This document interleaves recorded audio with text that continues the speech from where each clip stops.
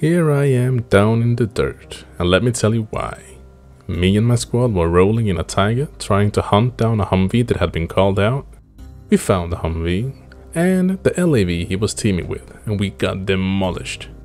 Luckily, our medic survived and could revive some of us, and that's where this clip starts.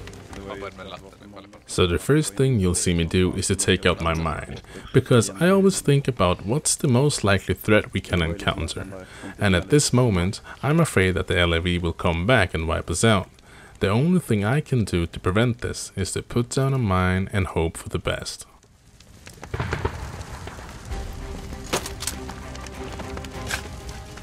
Okay, fordon kommer tillbaks. Var beredda nu här. Lätt, lätt, lätt, var beredda. My squad lead calls out that there's an enemy vehicle coming our way, so I take a quick peek on the map to evaluate the situation. I see that the rest of the survivors are bunched up in a place with little cover and are likely to die to LAV, and we have no rally. So I decide to run and hide and hopefully I can save my squad lead after the LAV has moved on and we will take it from there. I didn't get off the road in time and the enemy spotted me. So now I'm thinking that as long as I can keep them focused on me, my mates have a chance to do something. So I'm trying to keep them focusing on me by shooting towards them. Skytten ute.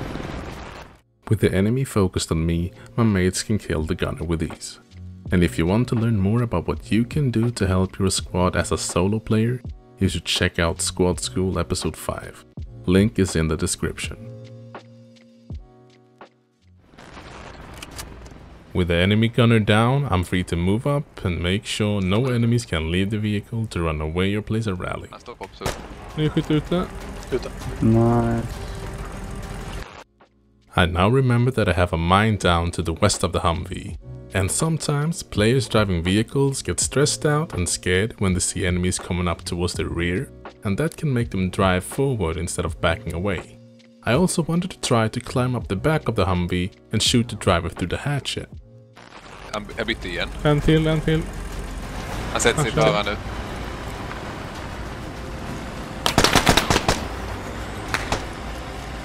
Locka mot minan. Du kan skjuta däcken på den där ganska lätt.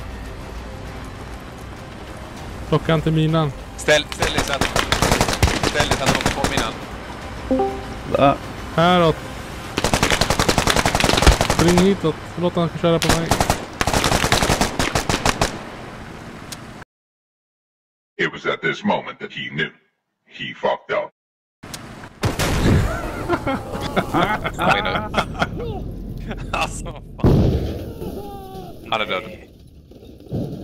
Let this guy serve as an example.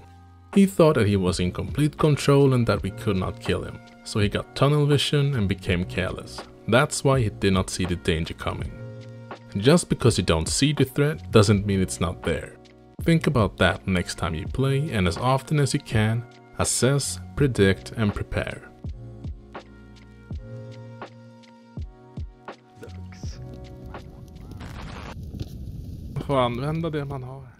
We all bleed the same sun